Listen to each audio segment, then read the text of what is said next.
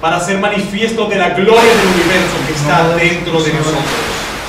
Así es, señores, aquí estuvo Julio. Esto que va a sonar son los auténticos decadentes. De muchos que a la vez son pocos, pero que igual merecen ser escuchados.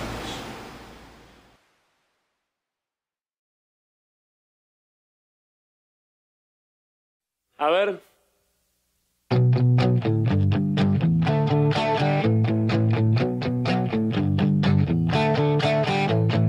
Ella durmió.